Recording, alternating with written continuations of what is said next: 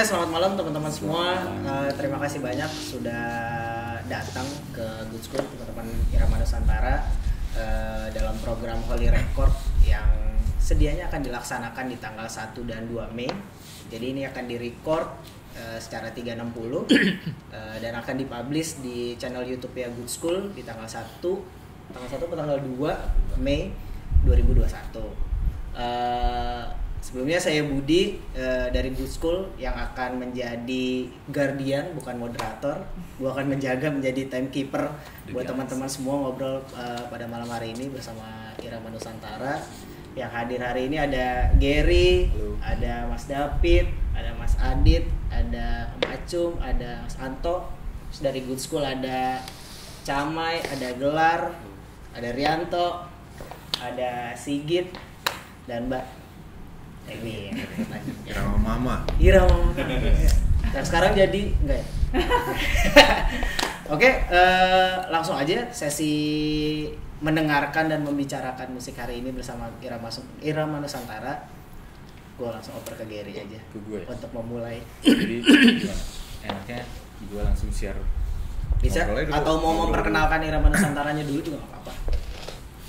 Boleh kali ya. Jadi uh, Irama Nusantara itu adalah yayasan sebuah yayasan pengarsipan musik populer Indonesia. Kita mulai dari tahun 2013 uh, eh, didirikan oleh salah satunya ada David Tarigan, lalu ada Alvin Yunata, Dian Ono, Norman Rumarubo, terus Christopher Nugroho sama Toma Avianda. Nah, uh, kenapa kita mendirikan si Irama Nusantara ini sendiri sebenarnya karena kita merasa bahwa akses informasi terhadap musik-musik populer Indonesia itu terutama yang dari masa lalu itu tuh sulit untuk diakses. Nah makanya kita berinisiatif untuk mendigitalisasi arsip-arsip uh, terutama rilisan musik populer Indonesia ke dalam satu buah website uh, alamatnya www.iramanusantara.org nah di situ kita bisa lihat semua semua arsip-arsip musik ya rilisan-rilisan terutama uh, musik populer Indonesia uh, dan bisa didengarkan langsung di situ. Kita bisa lihat uh, apa sih covernya informasi yang tercatat di dalamnya. Uh, semua kita kita buat hyperlink juga. Jadi misalkan kita butuh tahu artis itu siapa rilisannya apa aja bisa dilihat langsung di situ. Nah uh, itu lagi ya uh, hari ini. Hari ini. Ya, kita sebenarnya pengen ya ngobrolin sih sebenarnya lagu-lagu lagu-lagu itu sebenarnya lagu-lagu yang memang ter terkoleksi uh, di database-nya Irama Nusantara itu sendiri sih.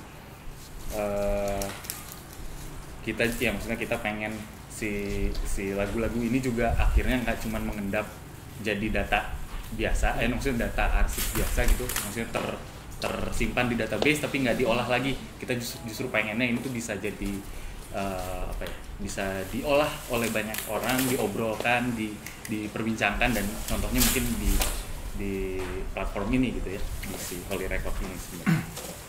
Nah mungkin langsung mulai uh, kita gue mau, langsung lagu atau mau mau. Oh tambahin dikit kali ya? oh, ya boleh. Boleh ya bebas boleh, aja kan? bebas aja. kita ngobrolnya bebas aja di sini.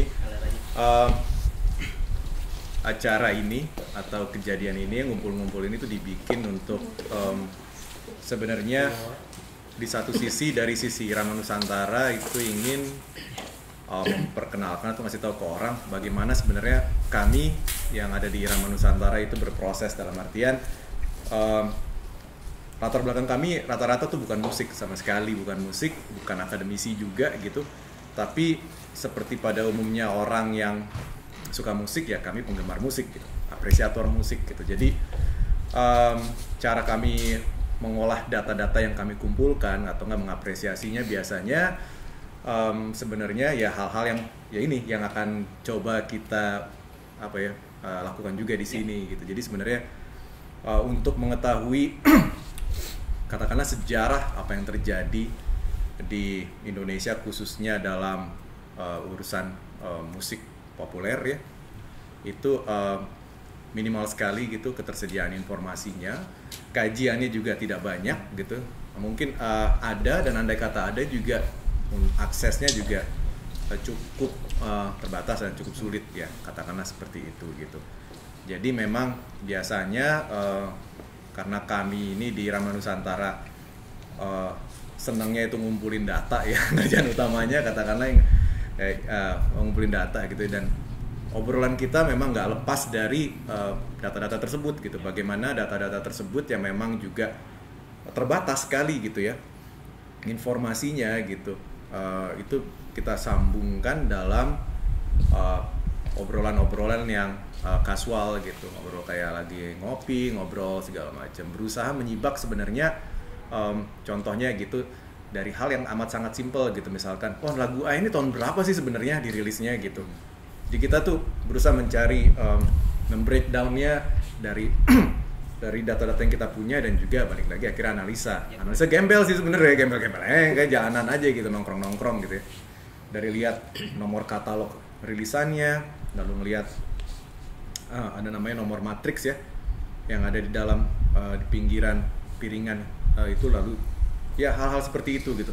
Kita runut lalu dapat eh, eh, data-data dari eh, majalah, dari koran, nah, media cetak atau juga mungkin data-data di saat uh, kami masing-masing pribadi atau atas nama uh, institusi gitu ya kita berkesempatan untuk mewawancara pelaku-pelakunya ya. Jadi hal-hal seperti itu sih sebenarnya.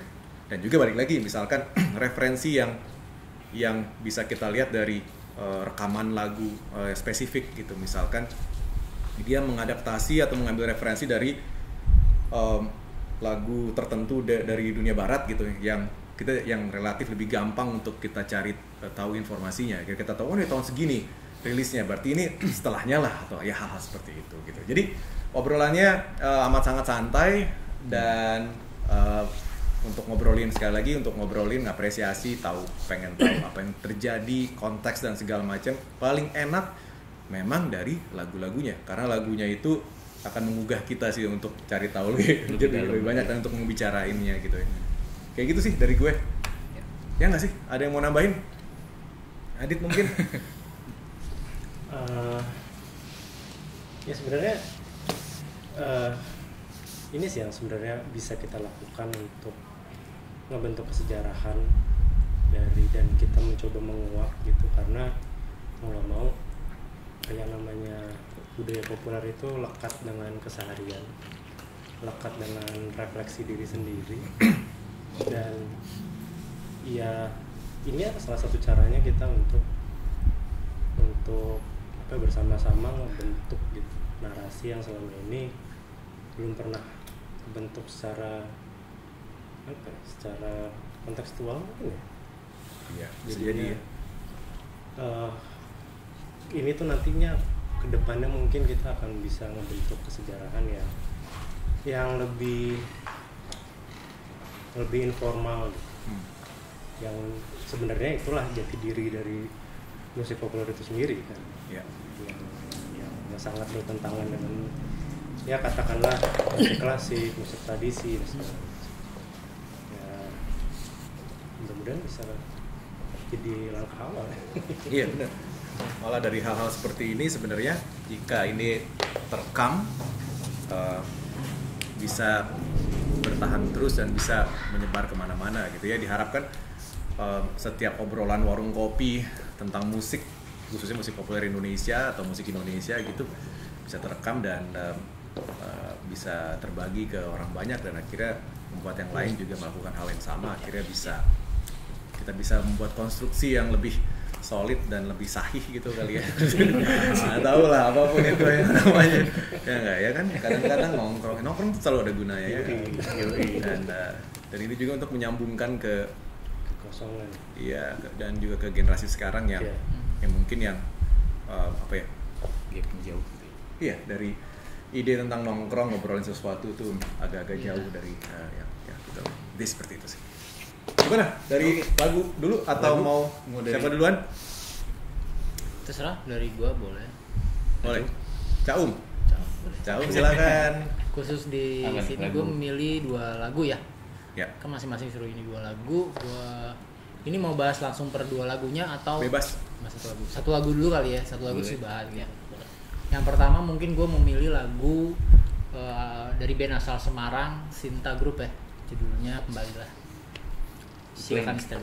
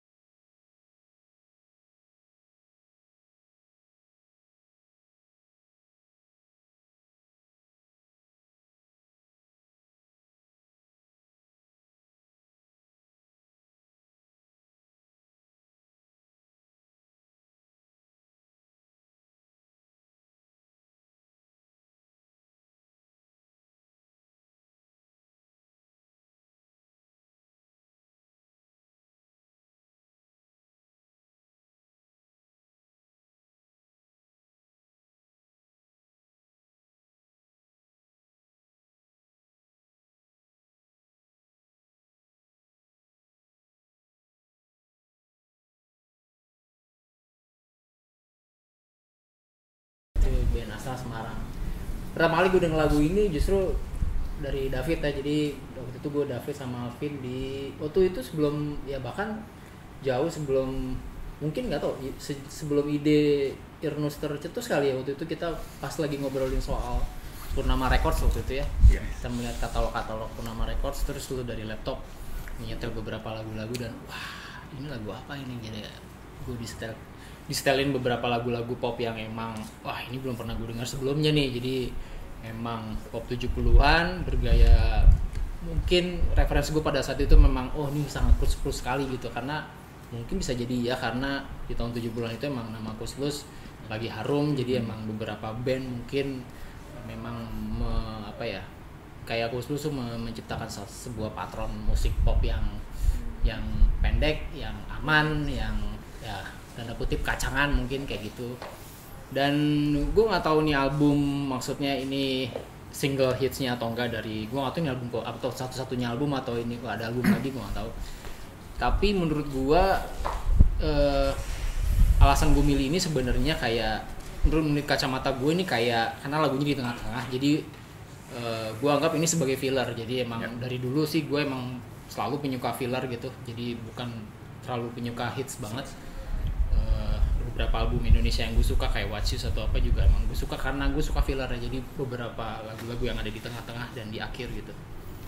Dan ini filler yang bagus karena em, nggak dari gayanya gaya mainnya gaya bermusik itu kayak effortless banget.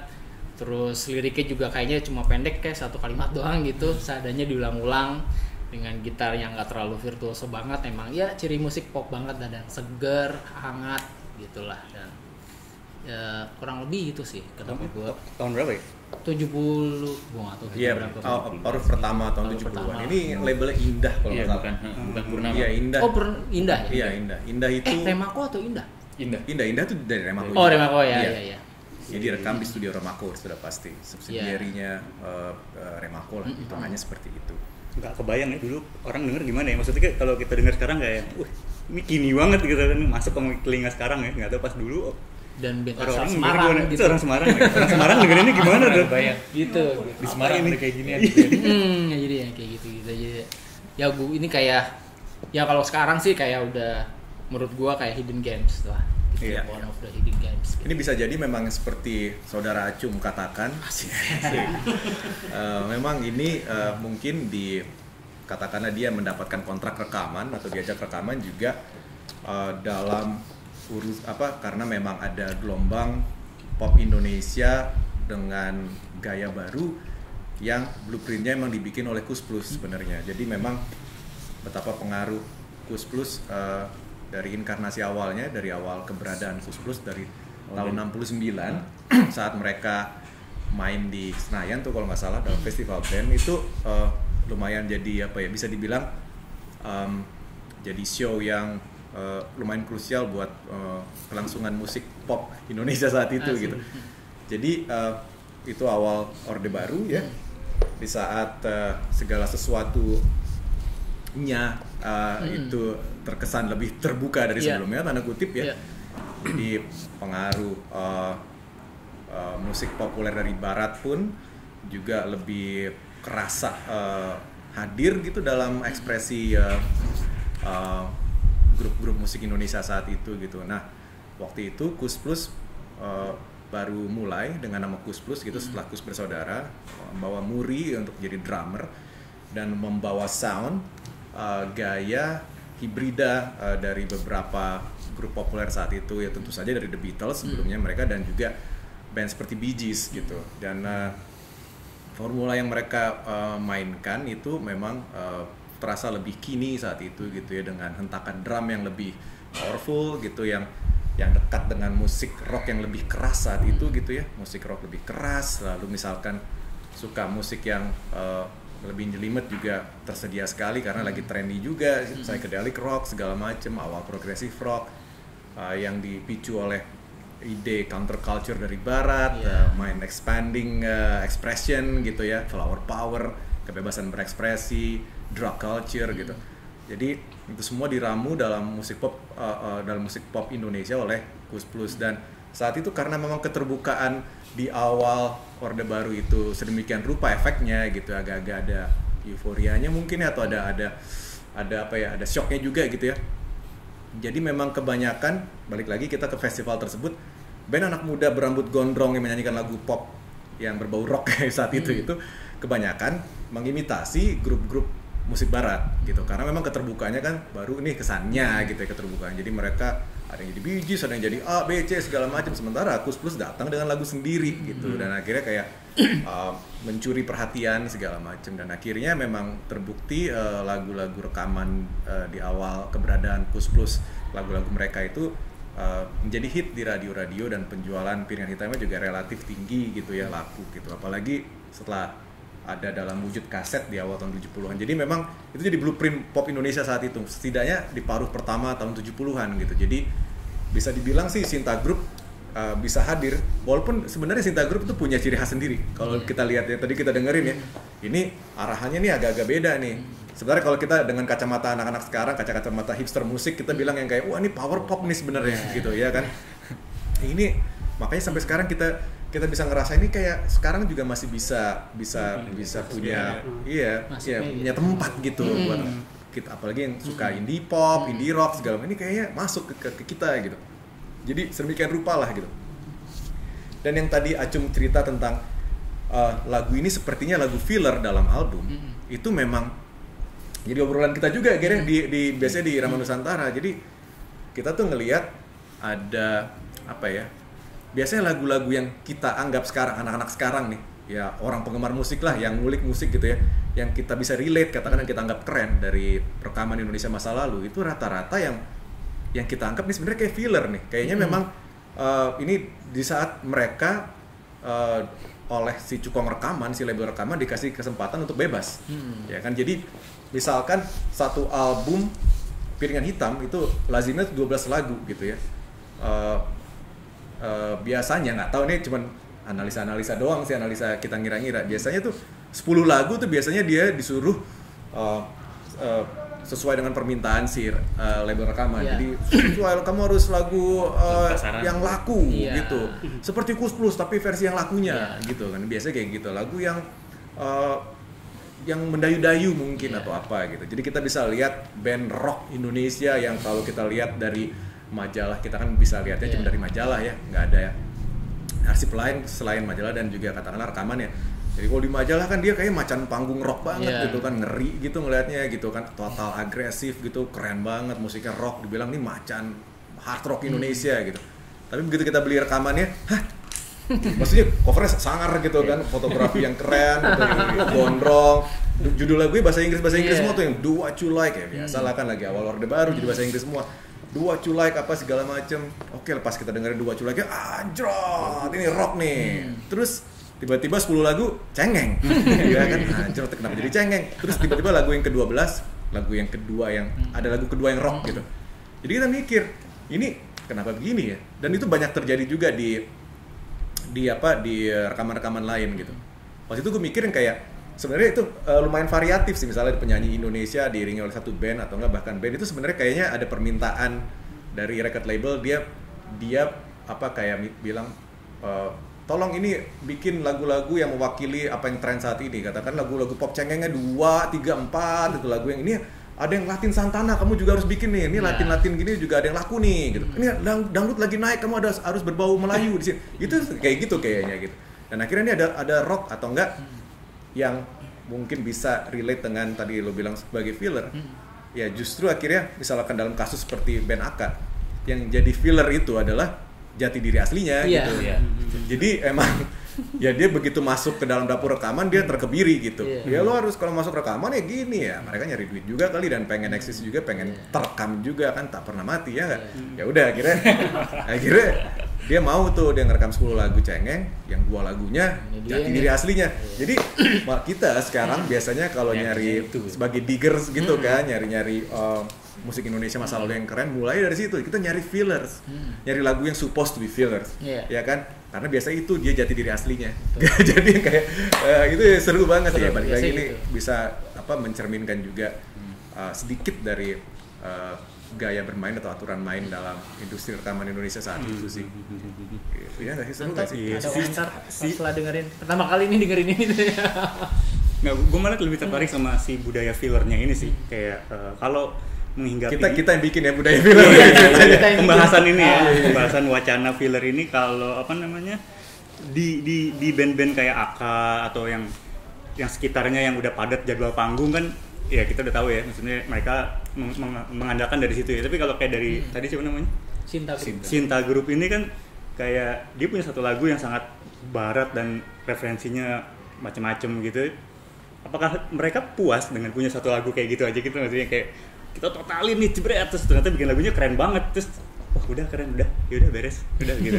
Itu kayak, gitu kah? Zaman dulu tuh ter- terutama menghinggapi di band-band yang nggak terlalu sukses secara ini ya komersial atau penjualan gitu ya. Itu tuh memang mereka juga gitu aja gitu ya maksudnya kan kalau ke kita kan ayo bikin satu album yang keren semua gitu kan mereka satu udah cukup tapi kayaknya itu juga dalam prakteknya sebenarnya tetap berlaku sampai setidaknya tahun 90-an Aha, Iya. di Indonesia. Jadi kayak band teman-teman kita sendiri itu pun seperti itu gitu. Iya. Ada kualifikasi seperti itu Iya. juga. Jadi dia hanya ngelihat, "Oh, nih dua lagu ini bisa main nih." Ah. Ya, kayak gitu kan Iya, cukongnya. Udah sisanya lo buat deh 10 lagu lagi Ah, gitu. sisanya. Iya, iya, iya. Jadi kalau melihat Sinta Group emang satu album ini doang ya Kayaknya sih Iya, kalau piringan hitam kemungkinan. gue nggak tahu sih yang lainnya. kaset ya belum. Kaset Nggak juga ada ya? Enggak maksudnya selain rilisan ini kayaknya Dari rilisan kasetnya ya. eh, Ada nggak? Mungkin ada Nggak rilisan tahu. kaset. Oh, nggak tahu Tapi sih. Oh, maksudnya da- da- album yang lain ya? Iya, album yang Nggak lain. tahu sih. Tapi sebenarnya gitu bahwa setiap band itu entah dari kota mana pun sebenarnya mereka udah punya jati diri. Cuma gimana mereka dikontrak sama satu label besar gitu itu sebenarnya udah kayak Hmm, hmm. pertaruhan bagi mereka. Oh, Hmm.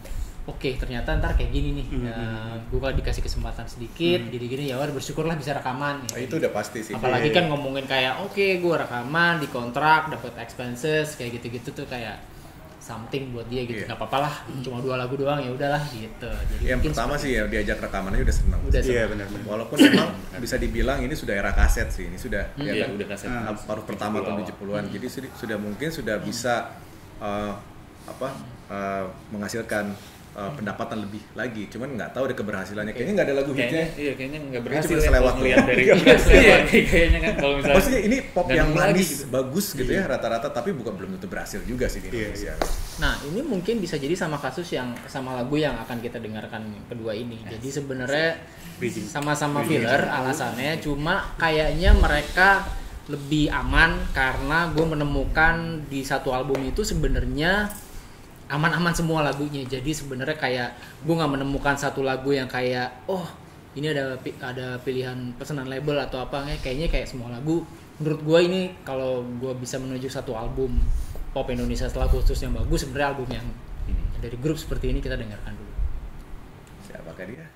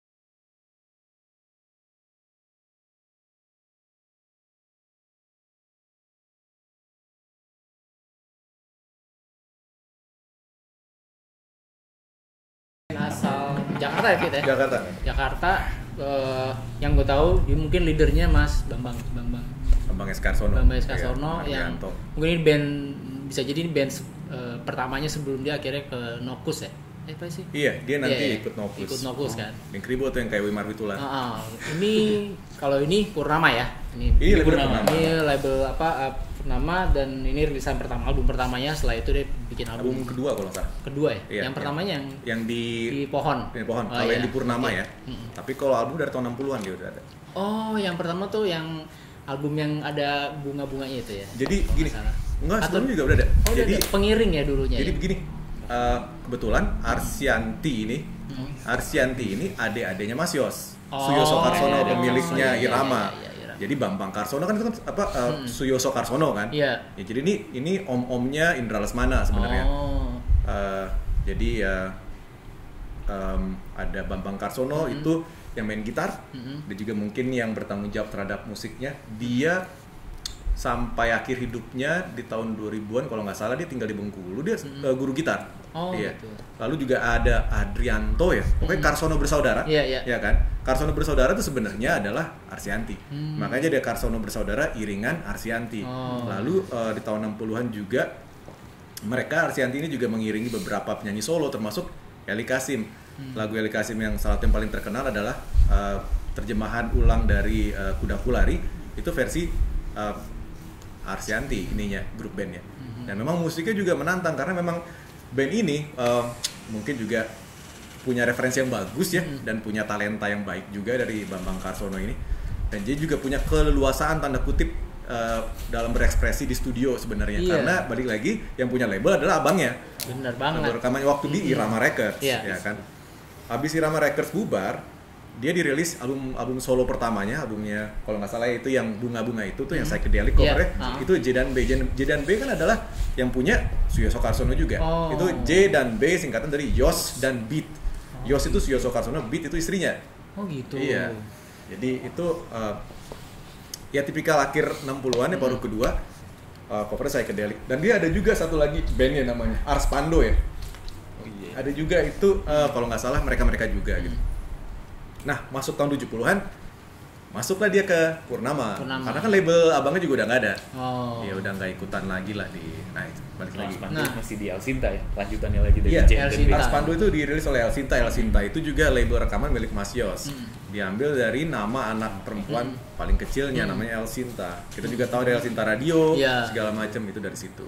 Nah, baik lagi ke soal tadi eh, sebuah album rekaman yang notabene ada pesanan apa segala macam gitu-gitu. Nah, gue sebenarnya di dua album ini, eh, terutama di album kedua ini nggak nggak melihat pola itu sebenarnya. Hmm. Nggak tahu mungkin karena dari cerita David diuntungkan karena dia dulu emang Seseorang eh, ya gitu ya. seseorang gitu something karena dia kenal sama ini ininya gitu gitu kayak jadi kayak ini menurut gue aman jadinya kalau ngomongin satu album utuh yang bagus musik pop ya sebenarnya gue Iya, mencari persis. ini gitu kayak gitu jadinya Setuju sih ini album bagus banget. bagus album banget. kedua di Purnama yang gambarnya mereka berdiri ya, ada yang duduk, yang biru belakangnya, kayak foto keluarga kayak foto keluarga di studio gitu tuh.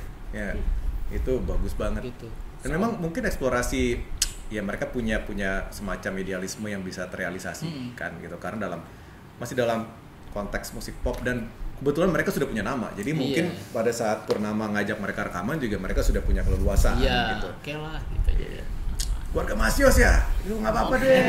bebas kirim apa aja gitu gitu gitu. jadi emang ada eksklusivitas gitu bisa ya jadi Nggak tahu, ya, kalau Ini- ini kan mungkin, iya, mungkin, mungkin. Iya, mungkin. Tenang, bisa tenang, gembel tenang, aja ya. tapi di kasus Sinta Group mungkin enggak Nggak, karena nggak. "Oh, lu siapa lu baru gitu Ya, ayo jadi deh ini nurut sama gua Mungkin cukongnya Purnama juga Mm-mm. didatangin sama Mas Yos. Ini adik saya nih mau rekaman. Oh, Oh, iya, iya, bisa. iya. oh Aryanti saya tahu, saya tahu. Silakan silakan gitu kan.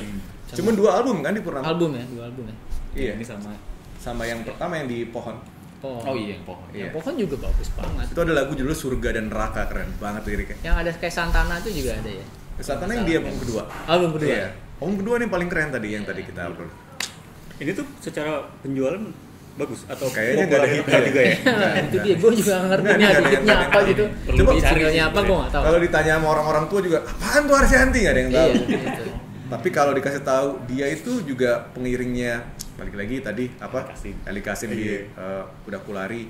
Itu keren banget. Kalau lo Iya. dengerin Eli Kasim Kuda Kulari, itu kan balik lagi berutang pada permainannya si Bambang Mm-mm. Karsono ini. Dia main gitar kan keren banget. Dia main itu lo denger itu 12 senar kan? iya Teng teng teng tereng teng teng tereng teng teng. Lu kleng kleng kleng kleng kleng kleng Beatles uh, folk rock style Iya. gitu kan jangly gitu itu nggak ada yang main kayak gitu di Indonesia gitu Oh. keren banget sih itu tahun 66 ya Jadi kalau dengan musiknya tuh musiknya sebenarnya chordnya sederhana banget ya, cuman dibikin susah gitu. itu maksudnya musik pop yang ya Beatles ya chordnya simpel banget itu sebenarnya. Aransemen. Jadi tapi aransemennya gila. yang lucu Gila juga kayaknya banget. tarikan vokalnya gak sih kayak tadi ada yang kayak gimana ya gue agak lupa sih cara cara nyanyinya gitu Iya. cengkok ada cengkok melayu ada atau di album apanya gue nggak tahu di album itu ada yang tidur lagu yang tidur itu ya. Ah, jadi kayak tidur tiba-tiba jadi cepet tidur lagi Nah. oh itu Terus- keren banget ya ada Ekspresi ya, terus ada ekspresi. yang kuda gitu oh itu itu ada yang gitu ya jadi kayak ya boleh nggak dengerin yang lain boleh nanti, nanti. Nanti nanti nanti nanti tapi intinya itu ya maksud Ya. gua kenapa gue milih dua lagu itu karena simple aransemen emang filler dan Iya. emang ya gue gue cherish di di, Iya. di era itu gitu Hmm. Cuman jadi ada maksudnya kayak pengalaman lucu juga yang maksudnya gue kan eh, tahu musik-musik Indonesia lama ini dari bokap Hmm. sebenarnya. Nah bokap tuh selalu cerita gitu. Maksudnya gue selalu taunya kan yang barat-baratnya dulu tuh Hmm. pasti lah ya standar ya. Tapi pas dikasih tahu yang Indonesianya tuh apa tuh gue tuh kayak di kayak dibohongin gitu sama bokap. Soalnya diceritain misalkan lagu eh maksudnya band-bandnya apa aja gitu ya. Misalnya nih Panbers atau apa gitu. Itu tuh keren katanya. Keren ya maksudnya musiknya ya sama aja kayak kayak ya kayak misal gue seneng Queen gitu ya dia ceritain gitu. Ya gaya-gaya barat seperti itu juga gitu. Tapi pas gue cek zaman dulu waktu SMA tuh masih tahun berapa ya? Iku cengeng tuh iya pas pas nyari misalnya Converse atau nyari apa ya?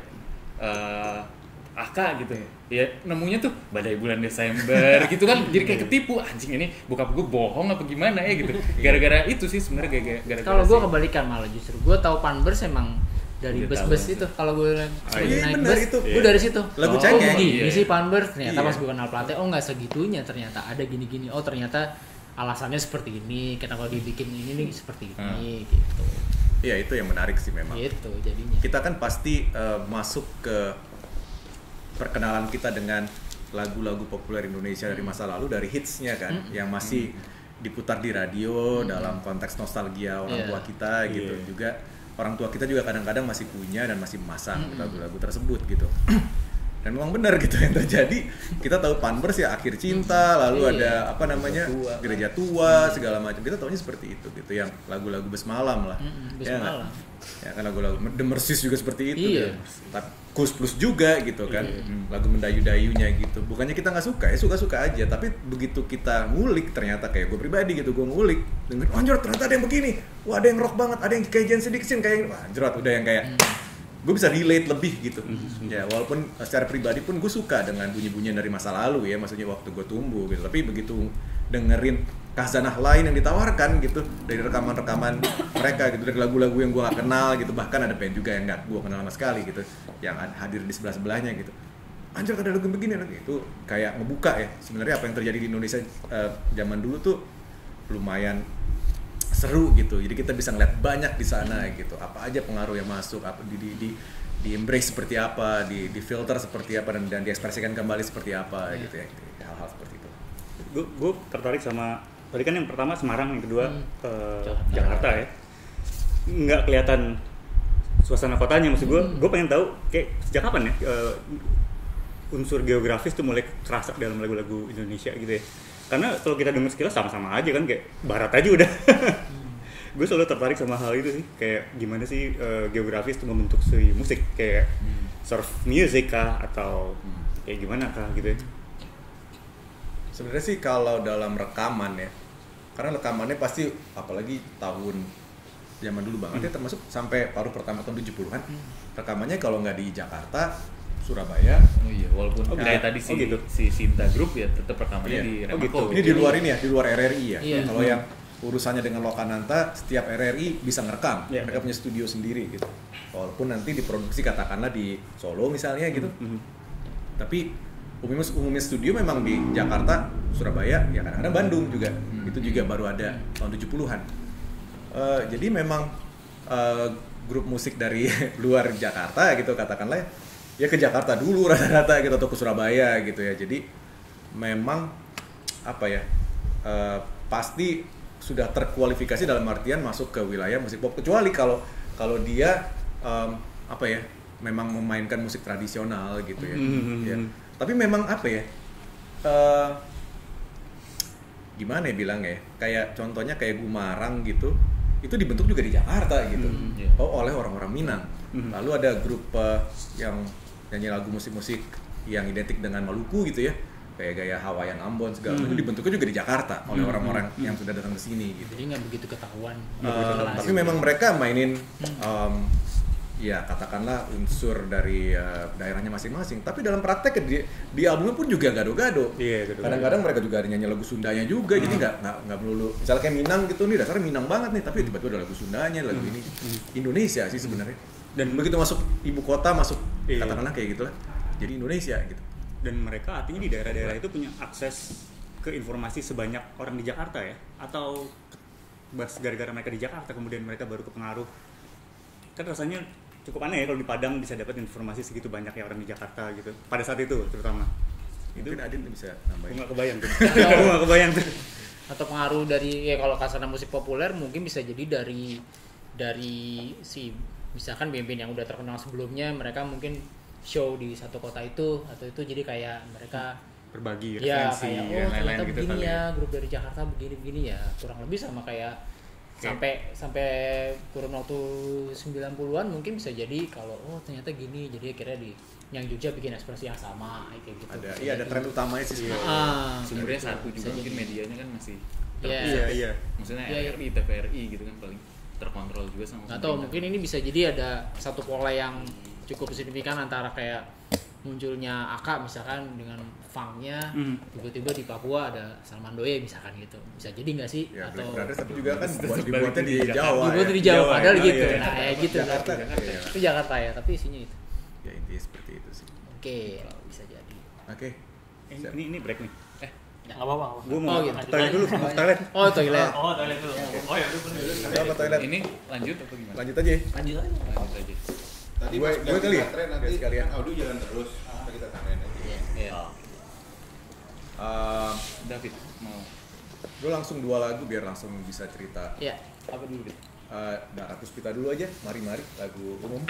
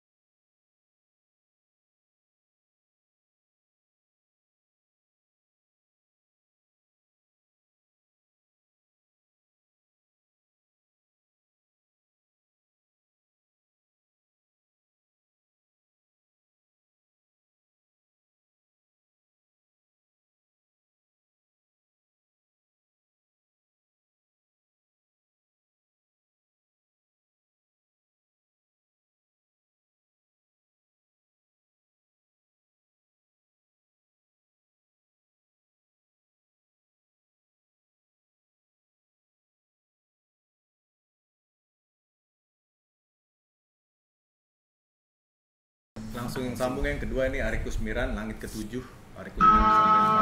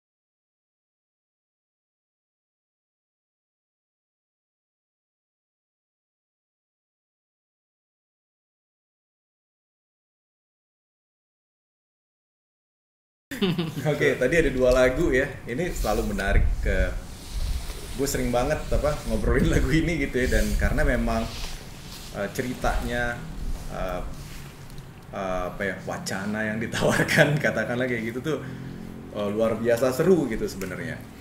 Tapi sebelum kita masuk ke dalam pembahasan yang lebih dalam mungkin waktu itu biasanya um, lagu tadi lagu Mari Mari dari Dara Puspita dan juga Langit Ketujuh dari Ari Kusmiran diiringi oleh band Empat Nada. Itu uh, gue berusaha mencari uh, gue suka banget kronologi gitu ya. Jadi gue pengen tahu ini sebenarnya dirilis tahun berapa ya gitu ya.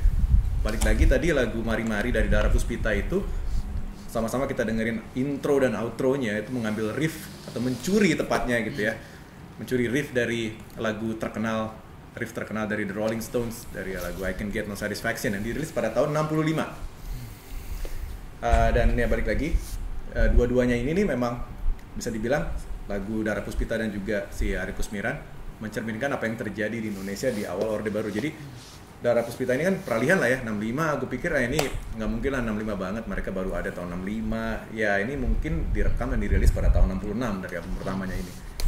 Dan lagu Mari Mari itu juga karangan Titik Puspa setelah gue lihat memang benar kayaknya ini versi pertama dari lagu Mari Mari kan banyak masih di cover berulang kali bahkan si versi Titik Puspanya aja baru setahun berikutnya dirilis tahun 67 dirilisan yang di Irama Berarti ini duluan ya? yang Kayaknya ini duluan. ya. Karena waktu itu gue juga pernah nanya Titi Hamzah, dia minta izin sama Titi Puspa di saat lagi konser gitu. Eh saya kami boleh nyanyiin lagu ini nggak yang tadi kamu nyanyikan gitu misalnya. Oh iya silakan silakan kita minta izin lah itu. Nice. Lalu satu lagi tadi lagu Ari Kusmiran yang berjudul Langit Ketujuh. Eh, itu dia itu di tengah-tengahnya tadi ada tengah-tengah yang pa- part yang psychedelic yang gitarnya pakai volume gitu.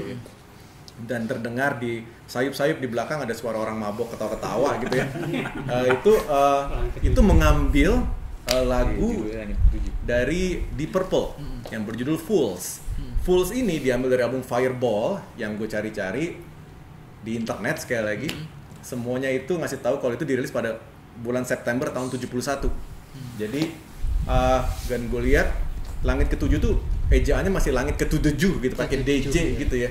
Sementara EYD itu baru tahun 72 uh, bulan Agustus dan dalam prakteknya sih dalam biasanya kita suka kita lihat pasti ada ada pada iya ada telatnya jadi masih Iya. transisi. Jadi sampai akhir tahun bahkan mungkin awal tahun 73 juga masih Masih ada masih ada yang pakai EYD. EYD eh tidak EYD EYD. Opusen apa sih namanya ya intinya kayak gitulah. Jadi uh, waktu itu gue mikir yang kayak ini kurang lebih tahun 72 kali ya. Coba kita dengerin yang di Purple ya itu tadi ada part ini nih. Part itu. part Langsung lagu ke ini partnya. mungkin nggak begitu. Ya langsung ke partnya aja. Nggak begitu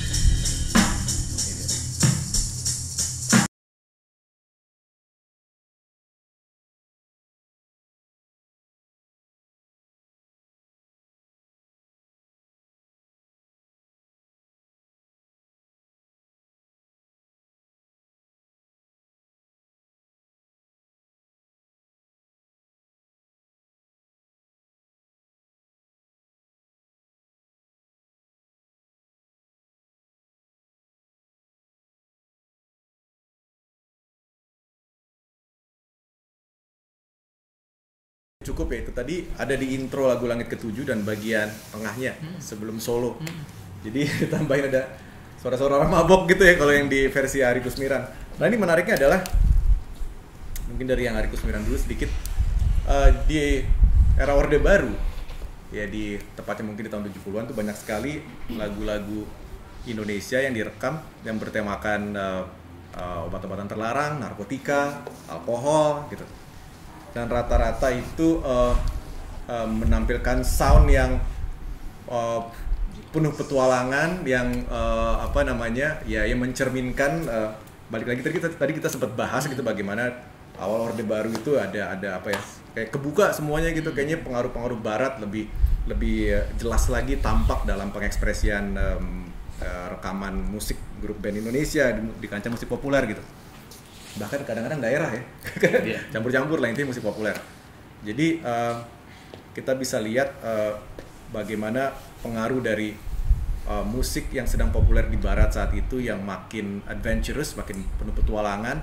Balik lagi yang mengusung ide mind expanding drug culture counter culture hippie flower power dan yang yang yang terekspresikan dalam eksperimentasi dalam rekaman eh, yang lebih elektrik yang yang berusaha menampilkan suara atau bunyi-bunyian eh, yang mencerminkan ide tersebut gitu. Yang akhirnya di diemulasi juga sama sama eh, industri musik eh, populer Indonesia gitu. Termasuk tadi tercermin juga dalam lagunya Ari Kusmiran gitu. Dia mengambil yang sangat populer juga saat itu tapi mencerminkan yang lagi hip juga gitu saat itu gitu. Anak-anak gondrong dulu dengerin di Purple. Dan kita- dan tadi kita sempet ya sebelum ini dimulai juga kita ngobrol kenapa di Purple ya? Kenapa di Purple populer banget di Indonesia? Kenapa nggak Led Zeppelin gitu? Kenapa Santana yang populer gitu? Kenapa nah nanti kita bahas lah yang lain. Karena jejaknya di Purple banyak banget ya termasuk tadi lagu Ari Kusmiran lalu lalu ada di Kus Plus di album keduanya mereka tahun 70 Pencuri Hati.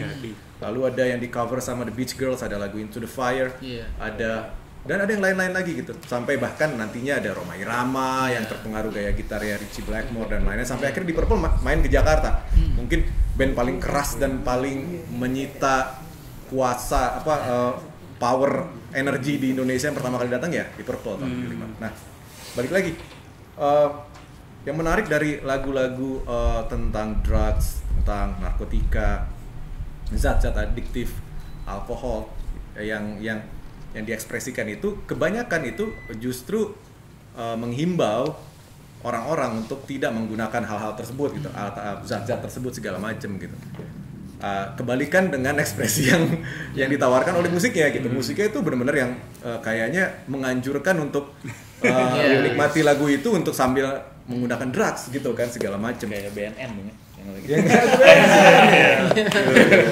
Jadi makin pengen. pengen gitu Nggak, tapi intinya inti itu seperti itu gitu. Itu terjadi. Nah, yang menarik adalah justru eh, dari sekian banyak lagu-lagu yang bertemakan drugs dan segala macam itu ada satu lagu yang berjudul Langit Ketujuh yang dinyanyikan oleh Ari Kusmiran yang dibuat oleh Hamidan. Hamidan itu salah satu eh, pengarang lagu eh, rumahnya apa residensi dari Remako. Remako tuh punya pengarang lagu residensi ya, Ya. residen ya yang yang yang di situ yang menetap dan juga ada house bandnya. House bandnya saat itu adalah empat nada. Tanda. Jadi grup bandnya empat nada, pengarangnya Hamidan. Nah, waktu itu eh, Ari Kusmiran lahir tahun 58 dan di tahun 70 Ari Kusmiran itu menjuarai pop songs Jawa Tengah pop singer Jatim ya. eh Jatim Jatim kalau nggak salah. Jadi dia yang terbaik tahun Berarti 70 dia dari Surabaya ya? Iya. dari Surabaya dan usianya 12 tahun waktu tahun 70 ya kan. Jadi kalau ini tadi dirilis tahun 72 berarti dia usianya 14 tahun lah ya kurang lebih. Jadi dia tahun 70 pun dia sudah rekaman gara-gara dia juara kan. Rekaman eh, ke Jakarta. Lalu akhirnya di album kesekian, gue lupa album keberapa tahun 72 tadi, dia menyanyikan lagu Langit Ketujuh. Itu sebenarnya kalau tadi eh, ada liriknya sih sebenarnya. Kalau di- kita breakdown itu liriknya eh, lirik pertamanya daun ganja yang Daun ganja. Iya. Jadi itu liriknya eh, rada-rada beda dibanding pengekspresian eh, lagu-lagu eh, Indonesia yang bertemakan narkoba gitu yang lain gitu ya. Ini seperti yang lain kan kayak anti gitu ya. Jangan pakai deh menghimbau. Kok ini kayak kayak kayak exploitation gitu, kayak drug, kayak kayak ganja exploitation gitu, kayak kayak nikmatnya mengganja gitu, kayak selebrasi gitu. Lagu ini seperti itu gitu. Jadi daun ganja terbakar, asap masuk di badan, semua anganku datang menjelang. Dalam perasaanku aku terbang melayang, seakan melihat apa yang tiada. Terasa melintasi surga dan neraka. Langit mudah kujangkau, bintang dapat kupetik. Cie, hal kayak gitu. Pesannya di mana ya? ini yang ceritain kayak Iya. pengalaman mengganja gitu, ya kan? Nah, yang menariknya nyanyiin yang nyanyi ini tuh perempuan, segitu uh, anak gadis berusia 14 tahun gitu. Ya kan? Ini juga tadi ada em, ini yang menarik sebenarnya. Kenapa? eh, jadi gue sempat nanya sama Ari Kusmiran, gue sempat nanya waktu itu ketemu di acara KPMI. Eh, eh, mbak, mbak lagi padahal ibu ya, gue manggilnya, yang umuran nyokap gue gitu. Ini eh, ada lagu langit ketujuh, lagu tentang ganja. Dia cuman dia malu waktu itu. Aduh saya malu katanya. Kenapa? Waktu kecil saya tidak tahu itu artinya apa. nyanyi nyanyiin aja iya, jebak, jebak, jebak dan ini sebenarnya nyambung juga dengan yang tadi Acum yang Acum bahas tentang filler gitu. Jadi lagu ini bukan lagu utama di di dalam albumnya. Biasanya kan kalau di album-album Indonesia tuh eh, lagu-lagu utama dijadiin judul. Iya. Ya kalau nggak di belakangnya ada dua lagu utama gitu. Kalau nggak di center label platnya. Ini sama sekali nggak. Jadi emang ini ketahuan banget filler dan emang buat eksperimen aja kali gitu. Dia malu, dia nggak tahu gitu. Nah, lanjut lagi ke satu lagi lagunya Dara Puspita. Uh, Mari-mari yang menggunakan intro dan outro uh, riff I Can Get No Satisfaction. Jadi uh, tadinya gue pikir ini kan juga uh, lagu pembuka di album pertamanya mereka. Jadi kayak lagu Mari-mari semua orang tahu lah sekarang ya. Tapi lo bayangin album pertama dari Dara Puspita di tahun 66 riff pertamanya lo pertama kali denger itu I Can Get No Satisfaction gitu Rolling Stones kita mikir kayak wah begitu populernya nih berarti nih British Invasion Rolling Stones, Beatles dan lain-lain gitu. Mungkin memang orang lebih apa ngelihat ke Beatles, sosok Beatles, tapi ini ternyata ada Rolling Stones di Indonesia itu ternyata populer juga ya gitu. Itu itu bukti gitu. Dan yang menarik lagi sebenarnya gue berpikiran eh, ini tuh eh, eh, hal yang eh, biasa sebenarnya. Jadi kalau kalau ngelihat eh, karya-karya rekaman band eh, atau grup-grup musik entitas musik gitu ya penyanyi atau grup band eh, dunia saat itu gitu ya di luar barat. Mungkin di barat juga ada sih mungkin band-band yang dikategorikan band garasi, garage band tahun 60-an yang begitu menjamur di Amerika, di Inggris sampai ke grup band yang ada di dunia ketiga bahkan gitu. Itu banyak melakukan apa ya? eh, homage atau mencuri dengan cara mencuri riff-riff atau bagian-bagian dari lagu-lagu yang sedang tenar yang mereka suka atau pahlawan-pahlawan mereka gitu. Itu lazim sekali terjadi gitu. Karena memang ide rock and roll membebaskan anak muda musiknya anak muda itu juga masih baru banget gitu saat itu. Tahun 60-an semua anak muda di Amerika juga pengen ngeband mengikuti idolanya mereka dengan gaya pas-pasan. Jadi mereka mengimitasi gitu ya kan? Jadi tadi aku berpikir juga apa yang dilakukan oleh Dara Puspita hal yang ya kurang lebih sama. Itu banyak banget di mana-mana prakteknya gitu. Jadi ya dia ngambil uh, uh, Rolling Stones. Karena mereka suka Rolling Stones gitu. Dia dia idola mereka juga yang sebenarnya juga jadi alasan salah satu alasan wa- waktu mereka ke Eropa dia pengen ke Inggris waktu itu kan dia bilang karena kita pengen ketemu sama idola-idola kita gitu Beatles, Rolling Stones dan segala macam gitu. Jadi ya mereka fans Rolling Stones, Beatles, fans rock and roll gitu. Jadi ya udah nih gue suka gue pakai aja di depannya. Dan ya ya trendy juga kan ah, banyaklah hal-hal seperti itu. Yang gue pikir seperti itu doang gitu. Sampai akhirnya gue wawancara Titi Hamzah ya kan? Em, saat itu tuh tahun 65 lah itu katakan 65 66 Titi Hamzah itu tahun 66 berarti usianya kurang lebih 16 tahun ya kan? Eh, jadi masih remaja sekali gitu. Jadi eh, dia cerita jadi sebenarnya itu begini katanya. Kamu tahu kan eh, di saat eh, Kus bersaudara di penjara dulu jadi mereka bermain di acara pesta uh, ulang tahun ya kalau nggak salah ya? Atau pokoknya pesta di Kolonel Kusno. Apalah ya Kolonel Kusno gitu di Petamburan. Mereka main. Uh, juga Kus bersaudara main. Tapi kita sama-sama tahu kan ceritanya umumnya lah ya maksudnya. Pada tahu nggak sih ceritanya? Jadi yang di, di mana waktu itu uh, Kus bersaudara ditangkap karena bermain lagu-lagu barat. Katakanlah lagu yang populer saat itu kayak Beatles dan lain-lain. Sebenarnya yang lain juga. Ada si Darkus kita juga gitu. Ada satu lagi gitu. Satu, Ada satu band lagi, gue kalau salah. Apa? jadi waktu itu kan ceritanya mereka main lalu tengah main kalau nggak salah waktu kus bersaudara ada orang-orang nimpuk batu dari luar. Warga lah ya. Warga yang nggak tahu lah dari mana itu pokoknya sambil berteriak-teriak ganyang nekolim segala macem gitu. Jadi uh, neokolonialisme imperialisme segala macam ganyang penjajahan gaya baru segala macam sampai akhirnya kus bersaudara- bersaudaranya keluar ditenang-tenangin sama mereka udah beres besoknya mereka disamperin uh, aparat gitu. Akhirnya langsung masuk ke dijebloskan di penjara Oh, gelodok bukan Tam- hari itu juga, Pak. bukan besoknya. Nah. Eh sorry di mana petamburan ya? Tamburan ya? Petamburan. Baru digerebek. you know. Saya ada jejak-jejaknya nih Iya kan? Ternyata dari situ. Iya, jejaknya Jangan-jangan. jangan jangan ya. Karmanya turun Jadi eh, si Dara Puspita balik lagi saat itu tidak di penjara gitu. Nggak tahu apa kenapa mungkin ya, gitu ya nggak tahu. Eh, tapi mereka tuh punya cerita sendiri sebenarnya. Jadi mereka pun punya cara eh, cara pengasingan mereka gitu sebenarnya nantinya. Cuman di saat Kus bersaudara penjara mereka itu di di di diwajibkan Wajib lapor. wajib lapor di kantor kejaksaan kejaksaan negeri atau apa gitu nggak lupa nih gue jadi mereka nih nggak tahu kenapa ya beda treatmentnya dengan kus bersaudara ya mungkin gara-gara mereka masih remaja putri gitu ya gadis perempuan ah harmless lah udahlah. Mereka ini aja lah eh, suruh ke kejaksaan aja tiap hari lapor mereka. Tiap hari tiap pagi datang selama beberapa minggu tiap pagi datang uh, habis um, apel gitu lalu mereka disuruh main band suruh main musik dengan alat-alat yang sudah disediakan oleh si kejaksaan. Alat-alat bandnya lengkap gitu. Jadi mereka dites tiap hari mungkin ini semacam tes nasionalisme kali ya yang waktu itu kan. Kamu nih sudah menyelewengkan. Oke kamu dites dulu. Jadi kayak suruh push up suruh bilang aku suka pancasila gitu gitu misalkan ya misalnya gitu ya. Cuman ini ini eh, tipenya karena mereka musisi suruh main. Jadi ditonton lah sama aparat segala macem gitu. Jadi nah polanya itu kata Titi Hamzah mereka tuh disuruh main back to back selalu. Jadi memainkan lagu yang berbau nasionalisme lalu berikutnya ber- lagu yang tidak berbau nasionalisme yang yang saat itu sama dengan sama dengan lagu The Beatles. Jadi memang ya Beatles yang paling populer, Beatles yang paling kena batunya saat itu, wah sepatu Beatles, razia, ya kan, wah celana Beatles, razia, rambut Beatles, razia gitu. Jadi mainin lagu Beatles apa lagi harusnya gitu kan.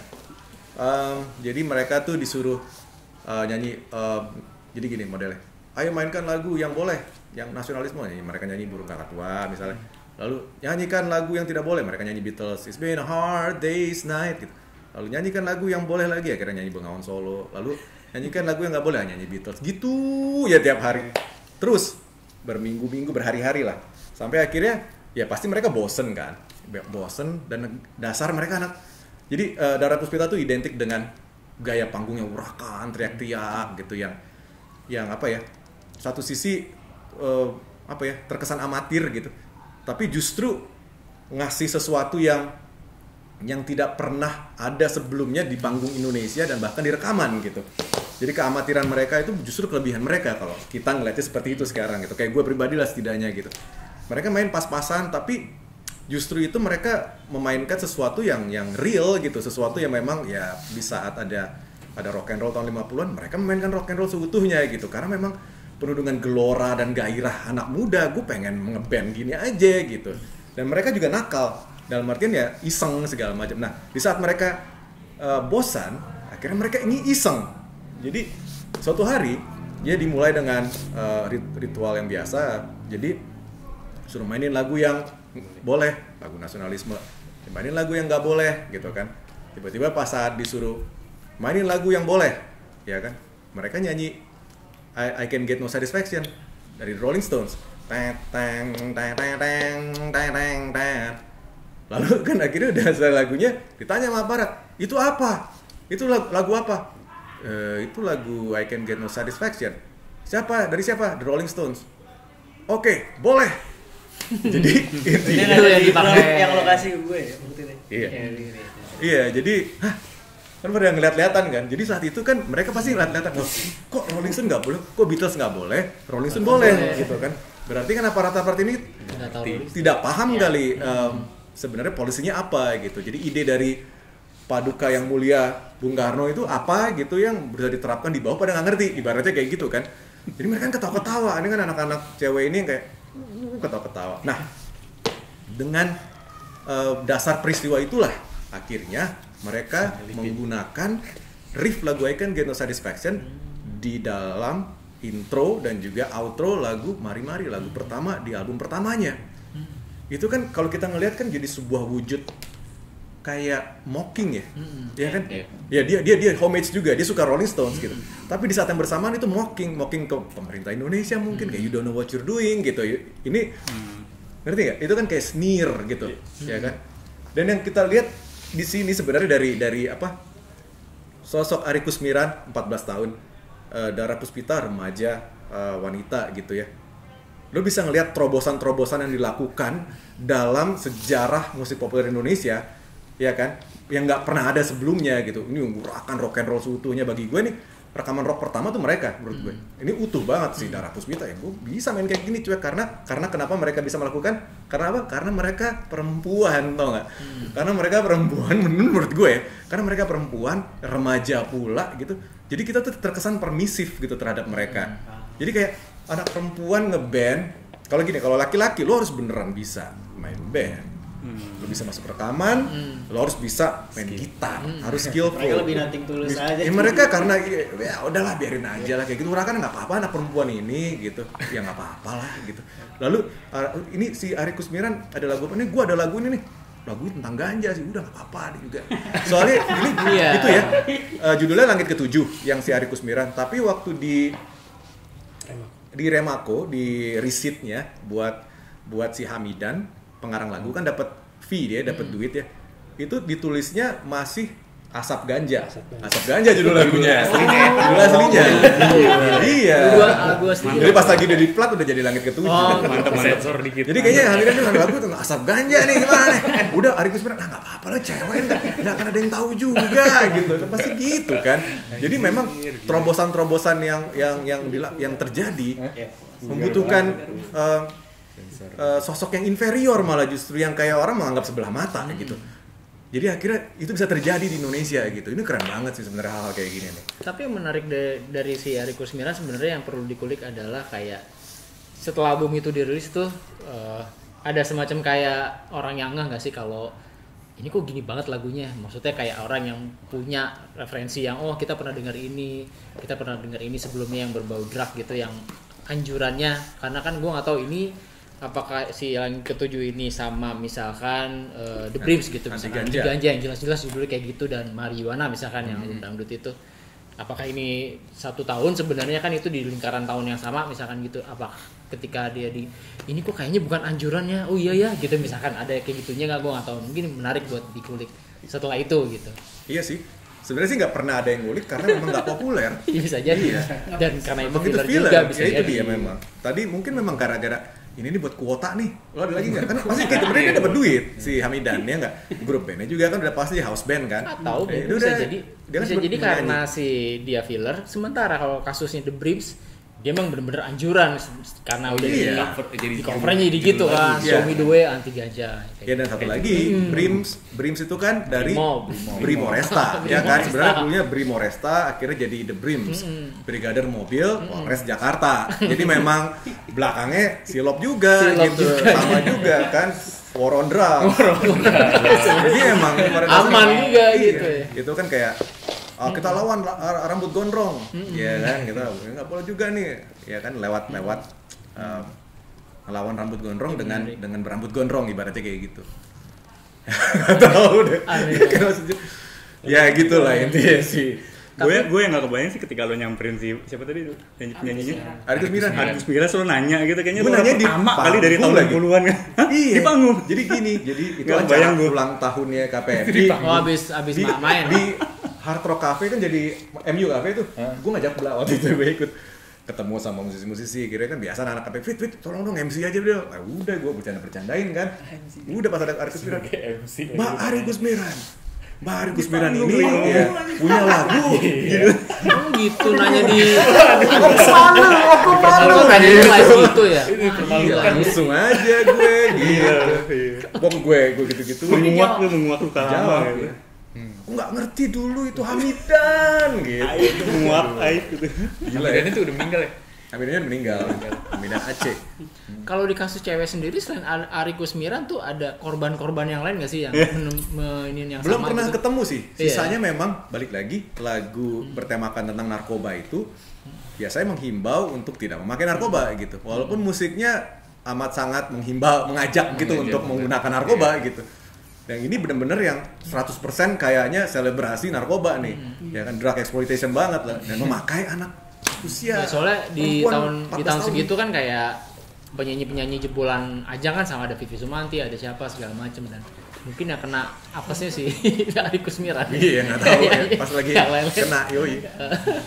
Kocak. Jadi itu mungkin mana itu apa makin mempertebal hipotesis kalau piringan hitam itu sebenarnya tidak sebanyak itu juga yang yang Bisa akses ke situ gitu. Sebenarnya. Karena akhirnya kan eh, piringan hitam pada saat itu mahal jadi akhirnya nggak jadi bahan untuk untuk orang ngomongin itu Bisa gitu. jadi, yang ya. yang yang diomongin orang itu yang masuk yang masuk radio gitu Benar.